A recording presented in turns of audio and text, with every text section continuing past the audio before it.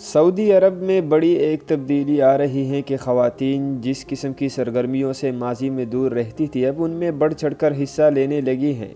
خواتین کے لیے مملکت میں ریسٹورنٹ کھولنا اور اس میں کام کرنا ماضی قریب تک ایک خواب تھا۔ مزمز نیوز ویب سائٹ کے مطابق تبوک میں ایک خاتون ام یحییٰ کے نام سے معروف ہیں۔ انہیں انواع و اقسام کے مقامی کانے تیار کرنے کا شوق ہے۔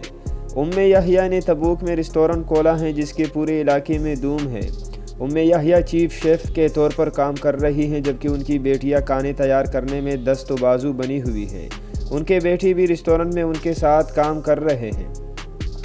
ام یحییٰ اور ان کے بچوں نے مقامی شہریوں کے لیے ایک مثال قائم کی ہے۔ ام یحییٰ کا کہنا ہے کہ سعودی شہری گھریلو انداز کے بنے ہوئے کانوں کے شوقین ہیں۔ انہیں جدید طرز کے ریسٹورنٹ میں پیش کیے جانے والے کانے اتنے پسند نہیں جتنے گھریلو کانے اچھے لگتے ہیں۔ اسی سوچ نے مجھے ریسٹورنٹ کھولنے کی تحریک دی۔ امی یحییٰ کا کہنا ہے کہ اپنے ریسٹورنٹ میں کئی ایسی ڈشوں کا اضافہ کیا جو ہمارے معاشرے میں بہت پسند کی جاتی ہیں۔ ایم بی سی کے پروگرام میں گفتگو کرتے ہوئے انہوں نے کہا کہ جو لوگ ماضی قریب تک ریسٹورنٹ کھولنے کے حوالے سے تنقید کرتے تھے، اب وہ خود میرے ریسٹورنٹ آ کر ہمارے تیار کردہ کھانے مزے سے لے کر کھاتے ہیں۔